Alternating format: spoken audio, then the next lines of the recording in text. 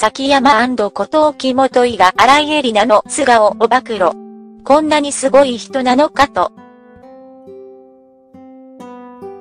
東京ラフストーリー毎週金曜夜0時50分1時20分テレビ朝日系の新春スペシャル東京ラフストーリースプが2019年1月3日木曜日に放送夜11時20分0時20分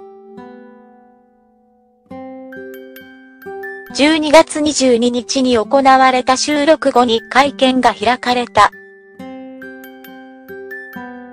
同番組は MC をフットボールアワー山崎公や荒井絵里奈が務め毎回あるテーマについて世間の声を調査して構成した再現 VTR を紹介。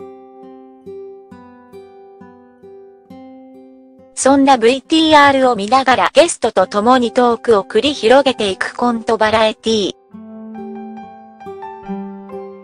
1月3日放送のスペシャル番組では世間のイラッと女スペシャルをテーマに SNS でイラッとさせる女あざとい言動でイラッとさせる女イラッとさせる女の生態など街頭インタビューなどで声が多かった意見を再現コントで紹介。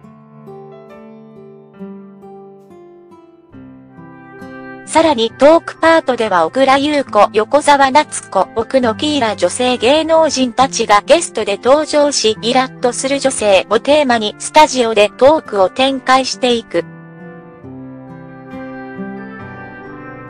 会見前には12月19日に43歳の誕生日を迎えた岩尾望みと12月22日に29歳の誕生日を迎えた荒井を似顔絵ケーキでサプライズ祝福。